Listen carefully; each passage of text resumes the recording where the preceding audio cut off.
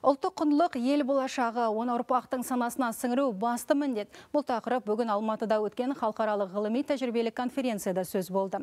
Ағарту саласының білікті мамандары мен студенттер бас қосқан жиында білім беру жүйесіндегі этнопедагогиканың маңызы айтылды.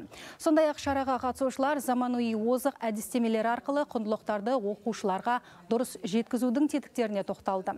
Отбасынан басталатын құндылықтар бір тұтас тәрбие бағдарламасының негізіне айналғанын атап өтті. 2024-25 оқу жылында білім беру ұйымдарындағы тәрбие жұмысы осы бағдарламаның негізгі ережелеріне сәйкес ұйымдастырылған.